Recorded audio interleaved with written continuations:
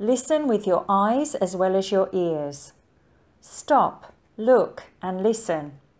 Remember that effective communication is two way. Good leaders know how to ask good questions and then listen with both their eyes and ears.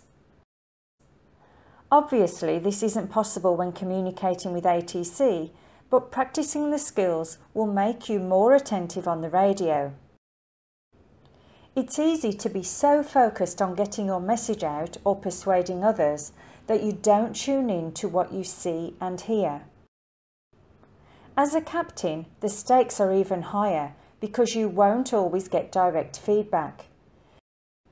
You need to read between the lines. Listen and hear what is coming back to you. Look for the non-verbal cues. Sometimes a person's body language will tell you everything you need to know.